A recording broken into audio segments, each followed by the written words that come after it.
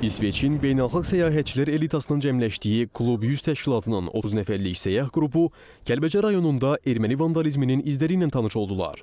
Səyyahlara Kəlbəcərin zəngin tarixi və geniş turizm potensialı barədə məlumat verildi. Sonra Laçına səyahət başladı. Qonaqlar e, bərpa olunmuş fərdi yaşayış evlərindən hər birinə hazırda baxış keçirdirlər. Evin e, daxili hissəsi, xarici hissəsini onlar öz e, gözləri ilə görürlər və elə e, bu evin e, müharibə dövründə e, hansı hala salındığı haqqında e, onlara məlumat verilir. 30 ilə yaxın bir dövrdə erməni işğal altında qalan Laçında səyyahlara dağıdılan yurd yerlərimiz, tarixi tikililər və abidələr barədə məlumat verildi. Səyyahlar Laçında aparılan tikinti, quruculuq işləri ilə də tanış oldular. Uh, Qarabağda yaşanan terror və bizim görüb şahid olduqlarımız çox dəhşətlidir. Mən hərbi ekspert deyiləm, amma deyə bilərəm ki, işğal dövründə burada baş verənlər bəşəri cinayətdir.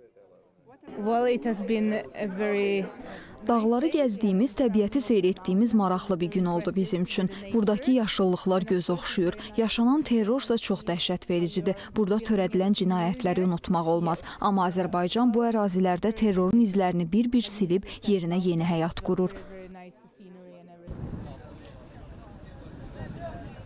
Klub 100 üzvlərinin azad olunan torpaqlarımıza səfəri davam edir. Sabah səyyahlar Zəngilan və Cəbrayılı səfər edəcəklər. Pərviz İmranoğlu, Elgün Qəmbərov, Niftullah Məmmədli, Rauf Məmmədov, ASTV xəbər.